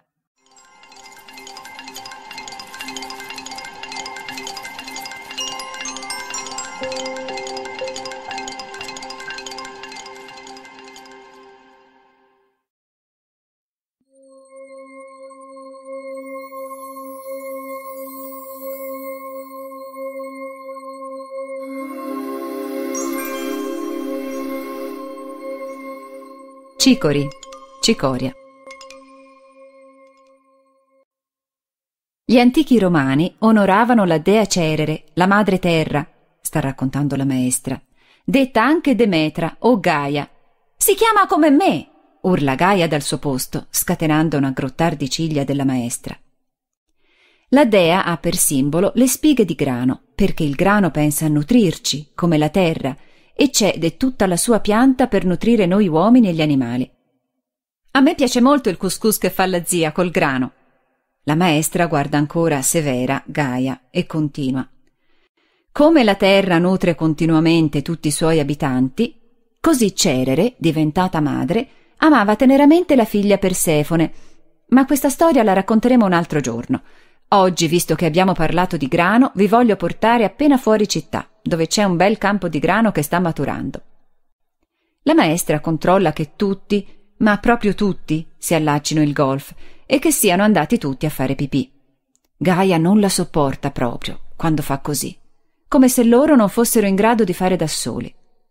E poi ha sempre da ridire sui capelli che dovrebbero star legati e sulle unghie che dovrebbero essere più corte e i calzini tirati su ma se invece pensasse un po' alle sue di calze, che hanno quella sfilatura bene in vista. Gaia, mi presti i tuoi pennarelli oggi se tu non li usi? Ecco Irene che come al solito le dà noia con la sua voce lamentosa. No, i pennarelli sono miei. Dovevi pensare a portare i tuoi stamani.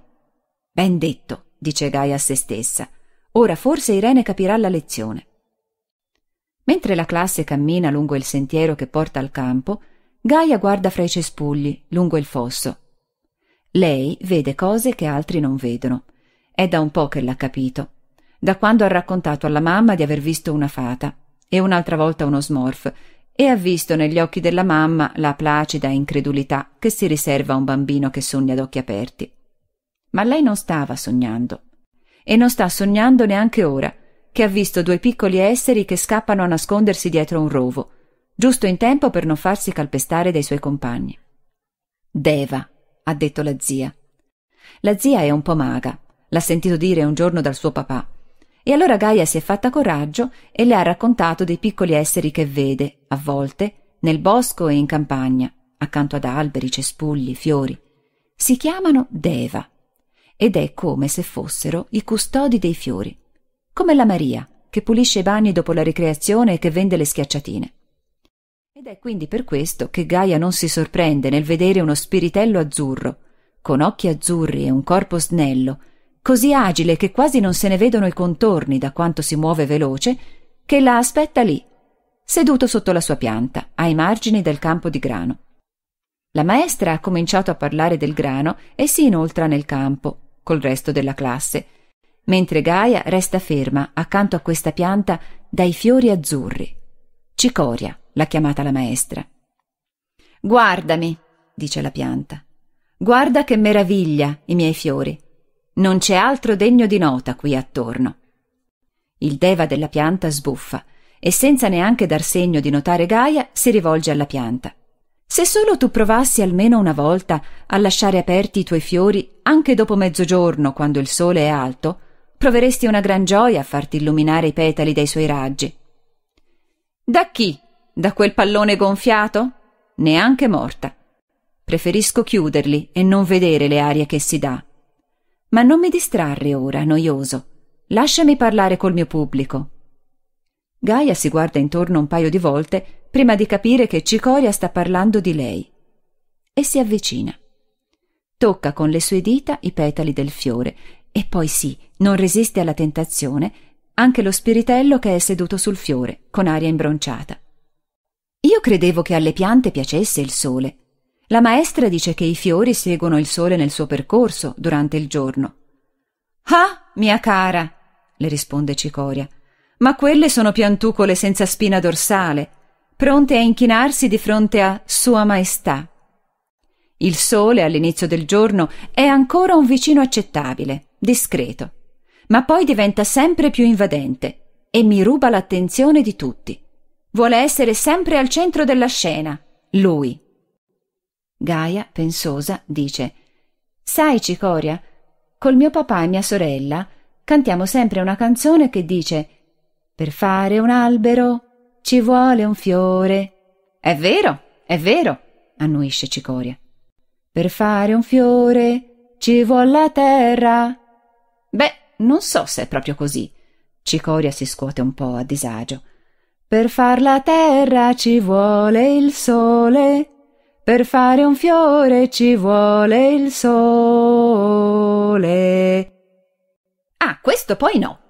E Cicoria si gira dall'altra parte, offesa, mentre lo spiritello azzurro sta svolazzando felice, sbattendo le ali come per applaudire le parole di Gaia. Gaia adesso cerca di rimediare. Del resto penso che si potrebbe anche dire che Apollo, sai, è il dio del sole e secondo gli antichi romani lo tira col suo carro tutte le mattine per fargli illuminare la terra. Insomma, se Apollo sapesse che non ci sono fiori da far crescere e da illuminare coi raggi del sole, penso che si risparmierebbe la fatica di farlo uscire, così come fa il mio papà che lascia la macchina in garage tutta la domenica quando non ci deve accompagnare a scuola. E quindi, Gaia conclude soddisfatta, il sole, per alzarsi in cielo, ha bisogno del fiore. Sì, sì, e vai! Urlano in coro Cicoria e lo spiritello, battendo foglie e ali. Forse, solo per oggi, lo faccio proprio per te e spero che me ne sarai grato, dice Cicoria al Deva, resterò a fiori aperti anche dopo mezzogiorno. Gaia controlla il suo orologio e vede che di fatto è già mezzogiorno passato e infatti la maestra sta tornando indietro coi suoi compagni. Il sole brilla sui petali azzurri che sembrano ancora più azzurri, ma che strano, si formano delle piccole gocce sulle corolle dei fiori. Che succede? chiede Gaia al Deva, e lo spiritello sorridendo. Succede che non ha pensato a questi, dice, inforcando un paio di occhiali da sole, e adesso le lacrimano i petali perché le dà noia la luce. Sorridendo, Gaia raccoglie qualche goccia con le dita e se le porta alle labbra, mentre la maestra sta spiegando. I fiori della cicoria stanno aperti solo dalla mattina presto a mezzogiorno, quindi adesso non li vedrete. Peccato perché sono di un bell'azzurro e starebbero benissimo nelle vostre foto e disegni. Ma la maestra si ferma a metà discorso, stupita nel vedere quella bella pianta a fiori aperti, incurante della luce. Che strano, dice. Stacca un fiore e se lo infila nei capelli, sapendo che farà sembrare ancora più azzurri i suoi occhi. Una goccia del fiore le cade sul volto e la maestra, ridendo, se la lecca via. Gaia non ha fatto in tempo a salutare il deva della cicoria, che si è nascosto in mezzo alle spighe, sulla sua sedia a sdraio, e d'improvviso sente il suo cuore aprirsi come i fiori di cicoria, e le prende la voglia di andare vicino a Irene e di offrirle il suo pennarello azzurro, così potrà finire il suo disegno in bellezza. Gaia, tu non hai fatto nessun disegno? Comincia a rimproverarla la maestra, ma poi si interrompe, sorride fra sé, la prende tra le braccia e dice Non importa. Ragazzi, mezz'ora di gioco libero. Scatenatevi pure, basta che non vi ammazziate. E ridendo si sdraia, senza accorgersi che il Deva, per gioco, le sta scompigliando i capelli.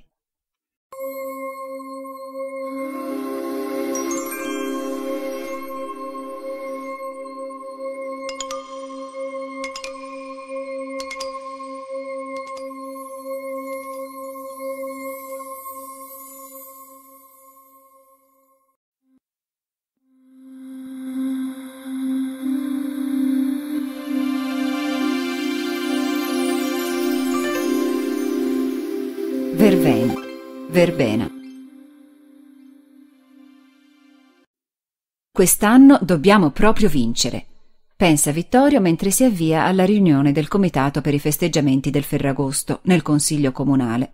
Qui si sono riunite le rappresentanze di tutte le frazioni del comune e Vittorio partecipa come rappresentante dei ragazzi della sua scuola.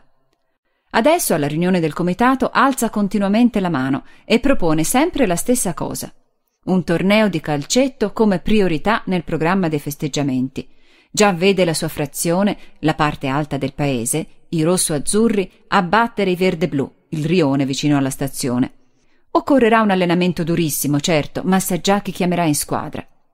E mentre gli adulti del comitato non osano obiettare niente di fronte a questo ragazzino sfegatato, che ha già detto che preparerà lui un campetto da calcio, che allenerà lui la squadra e che non si dovranno preoccupare di niente, Veronica, l'altra rappresentante della scuola, interviene appena può per dire che in questo modo le bambine non potranno giocare e che si potrebbe magari organizzare una caccia al tesoro. Sì, alza la voce anche lei, ma Vittorio urla di più. E così la riunione del comitato si conclude con un ok alla proposta del torneo di calcetto. Incurante delle proteste di Veronica, che cerca di fermarlo all'uscita, Vittorio si precipita nel suo quartiere dove suona alle case di una decina di candidati calciatori, strappandoli a un pigro dopo pranzo e a cartoni animati visti nella penombra fresca del salotto. Perché li incita è ora di iniziare l'allenamento, forza! Senza farsi influenzare dalla loro reticenza, li convince ad uscire di casa e a cominciare a scaldarsi con una corsetta su e giù dalla chiesa alla stazione, sostenendo che il fiato è la cosa più importante per la vittoria. Alla fine della salita, di ritorno alla chiesa, però, Vittorio si volta e vede che si è perso metà della squadra al negozio di gelati e che gli altri, sudati e rossi in viso, hanno a malapena il fiato per dire domani riposo. Ne riparliamo, urla, allontanandosi perché il suo progetto ha bisogno di un altro passo avanti. Un bel campo di calcetto in cui allenarsi e poi giocare il desiderato torneo. Mentre si avvia ai margini del paese, Vittorio pensa già a chi chiedere le divise della squadra. Sua zia e la nonna del suo amico sanno cucire e si faranno anche convincere facilmente. No problem, canticchia sotto il sole del pomeriggio. Vittorio ha trovato una bella area incolta, che può diventare uno splendido campo da calcetto. Forza, al lavoro, pensa, e comincia a strappare le erbacce per liberare la zona.